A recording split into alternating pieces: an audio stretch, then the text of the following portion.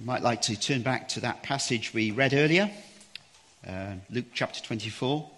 We're going to be looking at that passage about the two disciples on the road to Emmaus. I've called it, uh, title, The Right Kind of Heartburn. Uh, unfortunately, it's not original. Uh, dear Peter Williams actually used that title when he preached on this many, many years ago. And uh, I just couldn't help but think that that's the most suitable uh, title for a passage like this. It's about heartburn. Now, normally we think of heartburn as something very negative and difficult, and you get all those um, adverts on the television about those little men that go through like little firemen and you know sort the problem out. Heartburn is quite a common thing, and it's not a very pleasant thing. But this kind of heartburn is quite different, isn't it? You notice when they said, Were not our hearts burning? Well, they didn't have indigestion. But something more wonderful was happening. They were experiencing a warming of their heart and their minds. And we'll look at that in a little bit of detail in just a while. Uh, so there is the right kind of heartburn.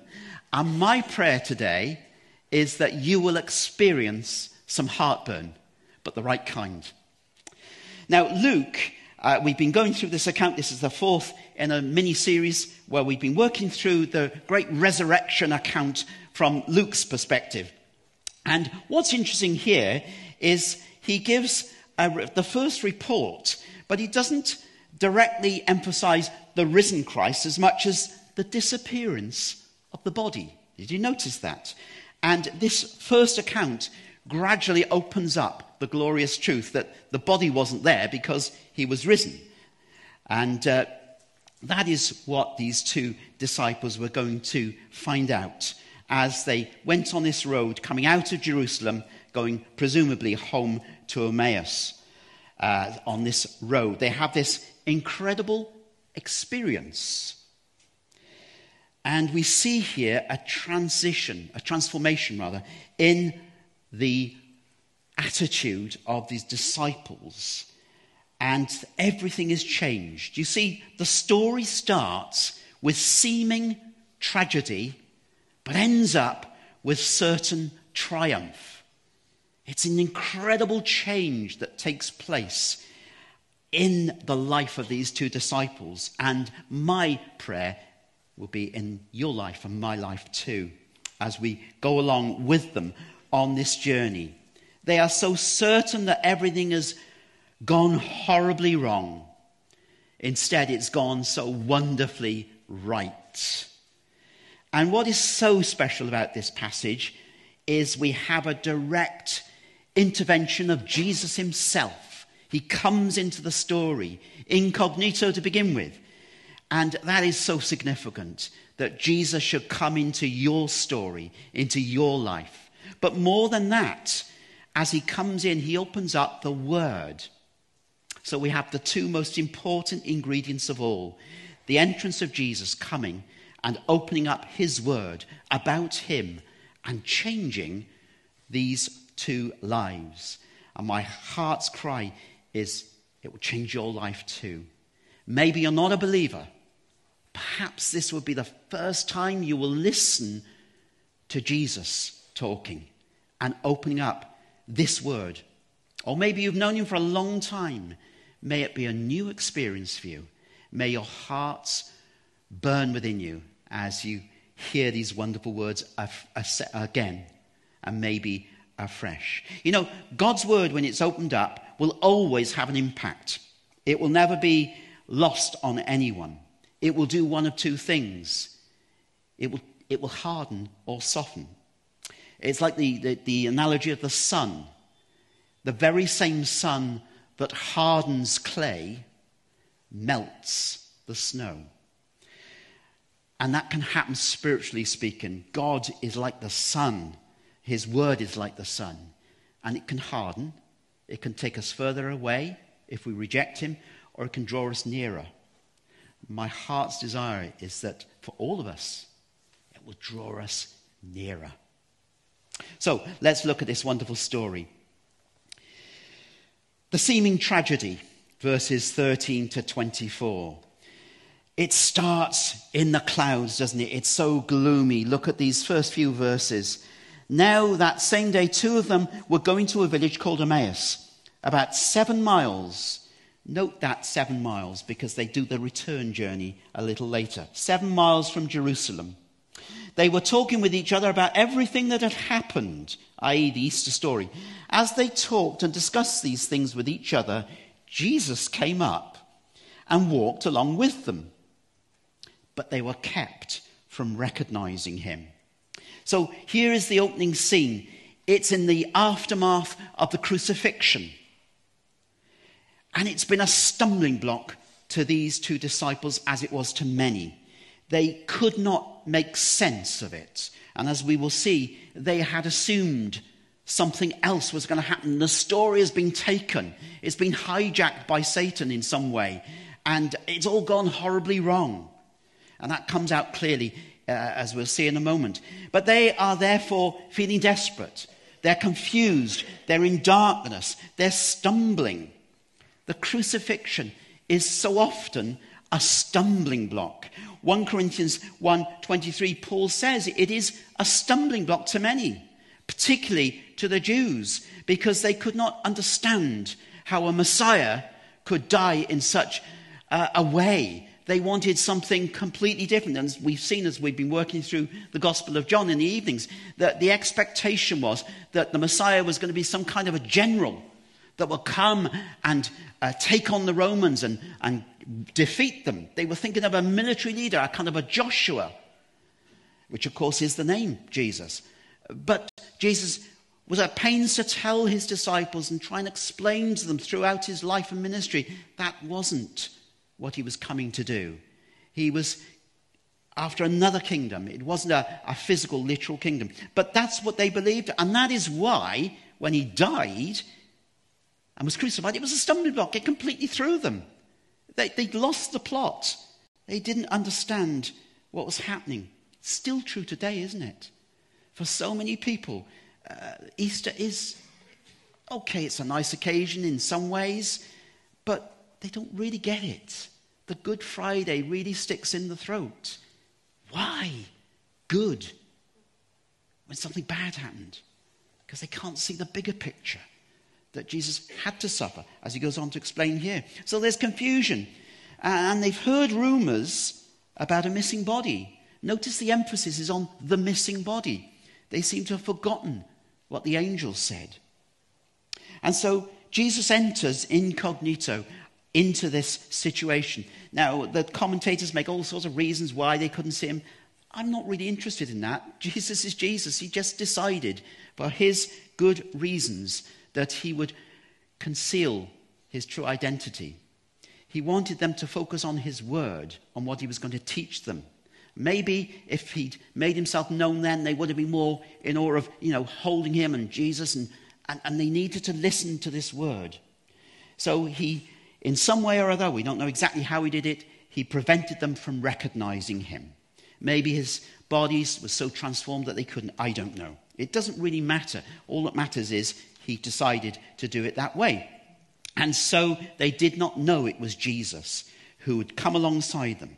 And as a stranger, he asked them those questions. And the reason why he was doing that is not because he didn't know, this was often Jesus' way. This was his way.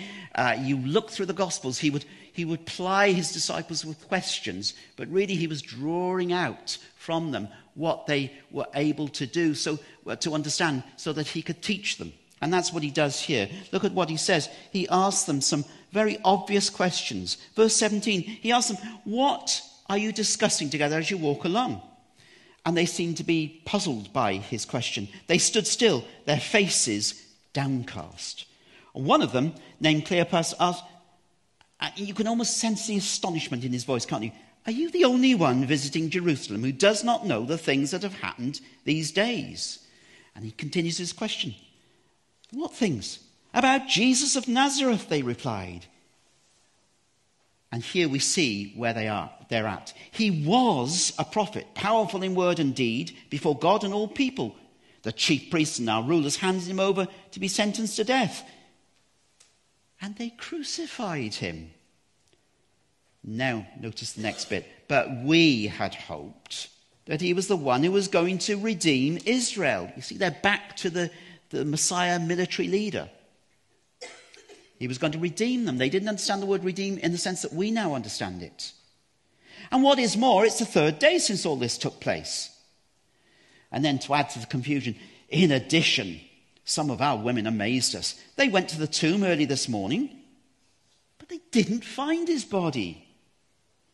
They came and told us that they'd seen a vision of angels who said he was alive. Then some of our companions went to the tomb and found it just as the women had said. But they did not see Jesus, they did not see the body.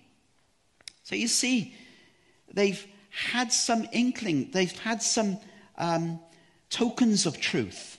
They've heard about the, the women going there and that the body wasn't there. And they heard about Peter and John going there. And they'd heard about an angel. And yet they still couldn't grasp what was going on. And maybe for some of us who've been Christians a long time, we think, well, how on earth could they not get it? But you know, that is the problem often with many folk. It's not a matter of intelligence. Some of the brainiest people on the planet are not Christians. It's not a matter of intelligence, it's a matter of spiritual understanding, which is not the same thing.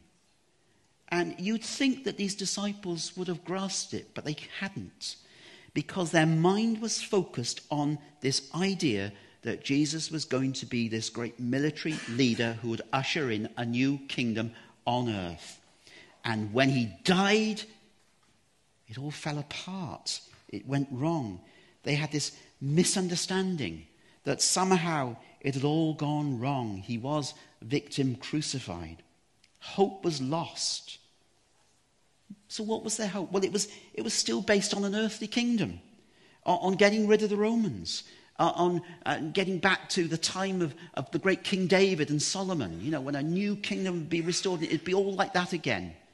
After all, was this not David's greatest son?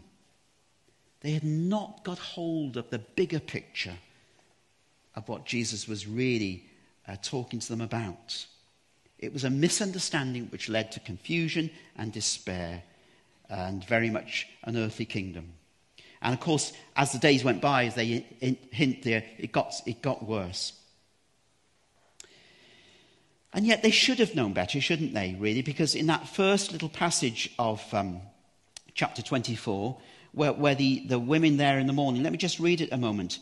Um, they found the stone rolled away from the tomb, but when they entered, they did not find the body of the Lord Jesus. While they were wondering about this, suddenly two men in clothes that gleamed like lightning stood beside them. In their fright, the women bowed down with their faces to the ground. But the men said to them, Why do you look for the living among the dead? He is not here. This is an angel speaking to them. He, they're telling them plainly, aren't they? He is not here. He's risen. Remember how he told you. Then the angels go on to say, He actually said these things while he was still in the body. The Son of Man must be delivered over to the hands of sinners be crucified, and on the third day be raised again. Then they remembered his words. But you see, these disciples had heard this message.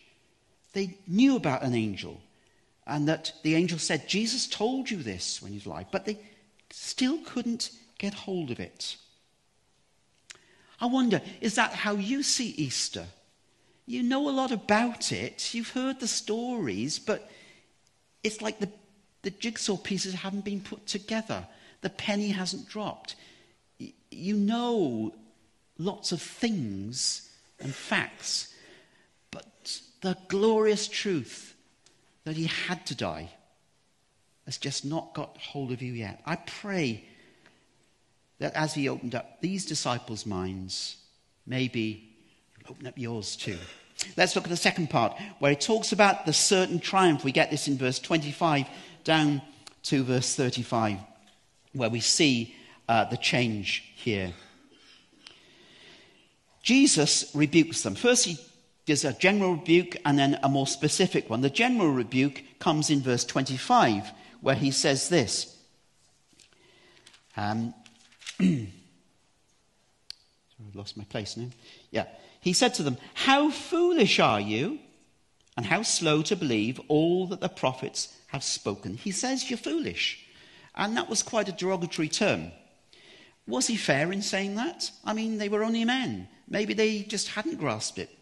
Well, I believe they were foolish because they should have known their scriptures better.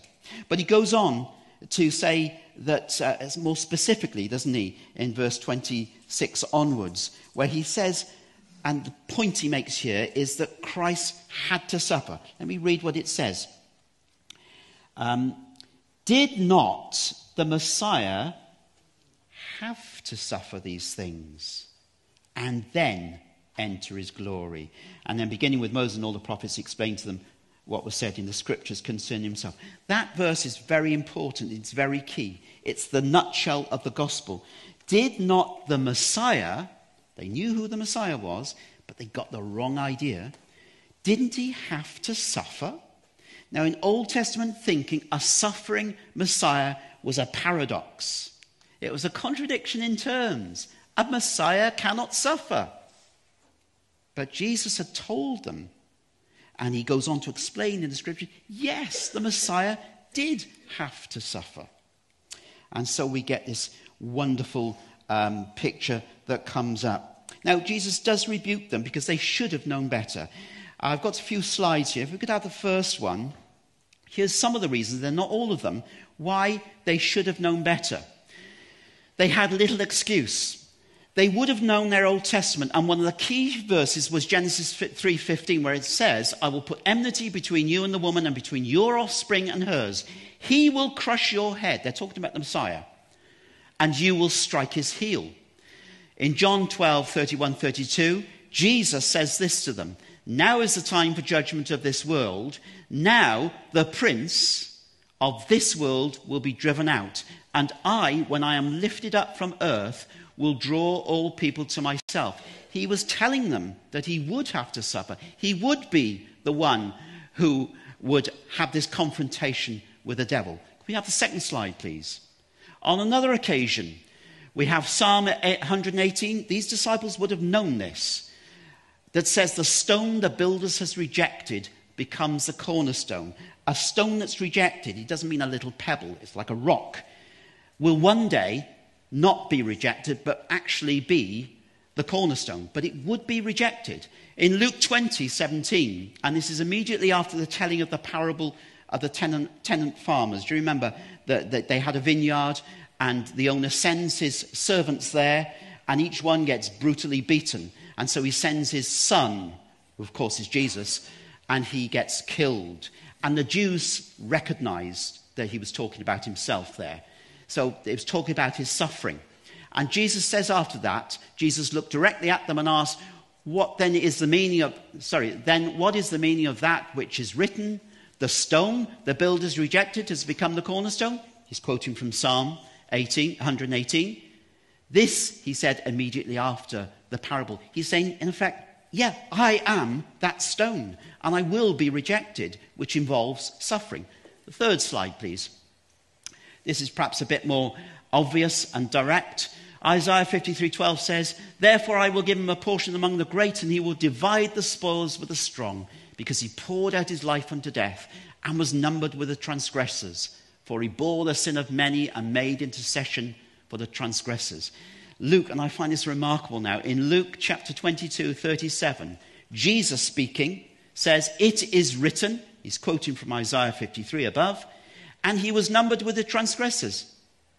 And then he goes on to say, And I tell you that this must be fulfilled in me. Yes, what is written about me is reaching its fulfillment. Couldn't be much clearer. Now, these disciples may well have been there at that time when Jesus was talking this, or they certainly would have known people close by who would have related the story. And yet, they couldn't see it. They had missed the point. Well, of course, Jesus then goes on to give them this most wonderful Bible study. If we could have slide four, please. Now, You can, I've just put it up there just to give you the impression of some of the scriptures. They're not the entire scriptures, but they are some of the key ones that Jesus may well have opened up to them. And you can see there's a lot there. Some very familiar ones, a lot. Um, there's the Genesis one we've just quoted. Genesis 22, verse 18, of course, you remember Abraham sacrificing Isaac. Uh, in, in Exodus 12, we've got the Passover lamb and so on. There's references, many references in the Psalms, in Isaiah, Jeremiah, Ezekiel, Daniel, Micah, Haggai, Zechariah, and Malachi. They're all talking about Jesus. And Jesus opens them up. I would love to have been there as he opened it and explained what these verses meant. Who better than Jesus himself to have done that? Now, he may have done it a different way. We don't know precisely how he opened up these scriptures. That could, be, could have been the chronological way. He could have started first with the historical and then looked at the types in, in, in, in various people. Uh, you know, um, Joseph in Genesis was a type of Christ, wasn't he? He saves his people. Joshua was a type of Christ. David was a type of Christ. He could have gone through that method. Or he could have talked about the promises and the prophecies. We don't know. But what we do know is Jesus made it very clear to them that he is there, saturated in the Old Testament, everywhere, if we have but eyes to see. And obviously, these disciples didn't, and Jesus gave them those eyes. Now, I've highlighted some in, in bold uh, deliberately. They are particular passages that speak of his suffering. All those passages speak of his ministry and what he would become, but the, the bold ones particularly speak of his suffering. They make reference to his having to suffer, either as the lamb, uh, as in Exodus 12, 13, and so on. And then there's that wonderful passage in, um, in Psalm 22 that seems to be the very words of Jesus. You know, verse 1 My God, my God, why have you forsaken me? David said those words when he wrote them down, but he was speaking in prophecy, and Jesus said them on the cross. And that, that psalm is so amazing, isn't it? Because it, it's almost like it's a portrayal of the crucifixion way back in the Psalms. And then, of course, Isaiah 53 uh, and so on. There are many references there. Thank you. So, we have just an idea here of what Jesus may have uh, been speaking to them about. And it would have been an incredible uh, experience for them, as it was to prove. Well, time went on, and uh, they, met, they were near, near in their house, and, and Jesus goes as if to carry on. But uh, they call him in, um, Eastern hospitality. They want him to be there with them. And uh, as, a, as a guest, they give him the honor of breaking bread. And so they have a meal and he breaks bread. And it's at that point things suddenly come alight. Uh, look at what they said. When he was at the table with them, he took bread and gave thanks and broke it and began to give it to them. Then their eyes were opened and they recognized him and he disappeared from their sight. There must have been a, a, a, sort of mixture of joy and frustration. Can you imagine it? At last, they realize who this stranger is who's been talking to them, giving them this Bible study all along the dusty road. They realize it's Jesus, and then he disappears from their sight. There would have been joy and probably a, a bit of frustration as well. Oh, if only we'd realized earlier who we were talking to. I'm sure people in a lesser sense of maybe had experiences where some famous person uh, they've been talking to and hadn't realized quite who they were. And then later on, someone says, You do realize who that was, don't you? And they think, Oh, if only I'd known, I would have got the autograph book out. And, uh, but magnify that a million billion times. They suddenly realized the person they'd been talking to, this stranger, was Jesus. How did they recognize it? Well, again, the commentators have a field day on trying to speculate on precisely how. It would probably seem sometime through the breaking of bread. Maybe they saw the holes in his hands. He allowed them to see them then. Uh, maybe it was his voice, the way he spoke. Maybe just a familiarity with that Last Supper. I don't know. But suddenly they realized, and then he was gone. But look at the, uh, the response. Uh, they are ready to go. Well, let's look at uh, something by way of application because what was it that had happened? What had changed their life? Well, They had burning hearts. What do we mean by this? Well, firstly, I think it means that their minds were enlightened. It's important that we understand that. This wasn't just emotionalism, it wasn't just tingly feelings. Remember what Jesus was doing. He was teaching them, he was informing them, he was explaining things to them. This was uh, an intellectual activity, it was teaching. That's the first thing he did. He addressed their minds and corrected them. They were in a state of confusion, and he needed to explain, to correct, and to extend their knowledge and their understanding.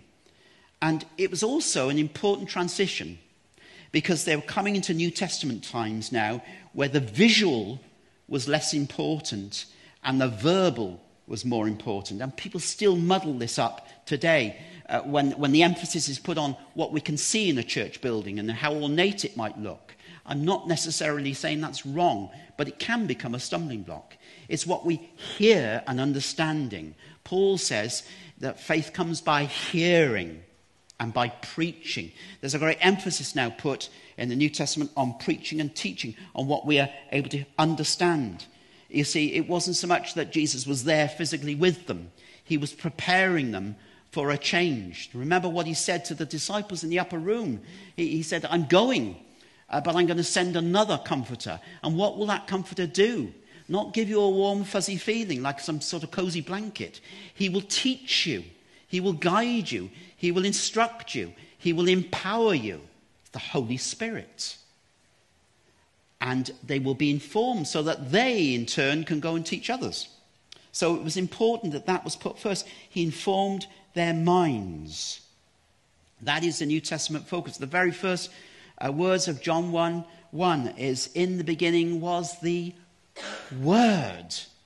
The Word was with God, the Word was God. It was a word based ministry. That's why here at Moordown Baptist Church and other similar churches, we put so much emphasis on the preaching and on hearing what God has to say. It's so important. But it didn't end there. It wasn't merely an academic exercise. It wasn't just a, a historical meeting where we talk and discuss things. We're talking here about preaching, not just teaching.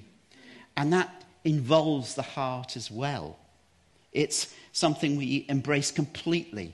He warmed their hearts. I believe when they say he warmed their hearts, something did take place emotionally as well. Starts with the mind but the emotions are affected as well. God created us with feelings, it's His idea. We're meant to be fully involved in every way, providing we get that order right. When we put it round the other way, we'll get problems if we focus on the emotions first before the understanding. But the understanding comes first. And from the understanding, if we really understand it, our hearts and our feelings will be transformed as well. That's why they said, Weren't our hearts warmed? What was happening to those disciples? Suddenly their minds were opening up and being enlightened. But as they were being enlightened, they were being excited and thrilled. This really is Jesus, Jesus of Nazareth, the one we've been talking with. He's the one in the Old Testament that they're speaking about in, in Psalm 22 and in Isaiah 53. It's Him. We've just been talking with Him the crucifixion wasn't the end, the resurrection was the next step. He's alive. The angels, now I get it. They told us these things. We should have known better. They were so excited. And uh, what did they do? Well, they couldn't stay. They didn't just say, Well, wasn't that wonderful? Wasn't that an amazing experience? I'll tell my grandchildren about this that we met with Jesus on the road. We had a meal with him. Well, let's hit the sack, go to bed. No. They are as awake as awake can ever be. They've just walked seven miles. It's evening. They're tired. They've not finished their meal. What do they do? They go back. Why? Because they've got good news. They've got to tell the others. Maybe they're not quite sure. Maybe those uh, other disciples are still in misery. We've just been told we know it's true. He's alive. He's risen. Oh, let's go back. Never mind the dark. Never mind the, the danger, the thieves on the road. Do you know, maybe they were even half running. Maybe they were energized in a way that they couldn't have explained. You know, when God works in revivals, strange things can happen. I'm not saying this necessarily happens here, but it wouldn't surprise me. Uh, you know, we hear of miners who were out to, to meetings to three o'clock in the morning, four o'clock in the morning, and they got up after an hour's sleep to do a full day's work, and farm labourers and so on. They were energized because they were so full uh, of God and the Holy Spirit. Maybe in some way, I mean, to suddenly take a seven mile journey back when you just got there, who does that? You know, you've walked seven miles on a dusty road, you're tired and hungry, and you think, oh, well, let's go back again. Something has got to happen in your life to do that, unless you're some sort of superhero athlete or just plain crazy and you fancy the idea of running back. These disciples were revolutionized. They were, they were just full of joy. They had to go back and tell the others. So let me just draw to a close. We must never see faith in cold intellectual terms as if it's some theory to understand. No, it is warm, it is emotional, it is full of truth. And I want to ask you does the word satisfy you in that way? Does it warm your heart as well as tickle your intellect? If not, why not? If it doesn't, maybe it's for one of the following reasons. You're not a true believer, and you still need to know this gospel for the first time. You are a true believer, but you've not grown in your faith. You've not got hold of all these wonderful truths and had your mind stimulated and your heart warmed. Or you are a believer, but you've allowed these things to be eclipsed, just like the clouds coming over the sun. Earlier on at the beginning, I said God's word always affects us, making us either softer or harder towards the things of God or away from them. We cannot remain neutral. Don't be fooled by that. God expects a response from us. His word will not return empty, says Isaiah. So, can I ask you, how are you going to respond to Christ and his word? Will your hearts be warmed, or will you just dismiss it? Let's pray. Heavenly Father, we, we just come to you now. Each one of us. You know our hearts. You know whether they're warm or cold or indifferent. Help us, Lord, not to treat this as just another Sunday, another sermon that may be interesting, may have been boring. No, Lord. Help us to see Jesus in all his glory as he should be seen. we ask it in Jesus' name. Amen.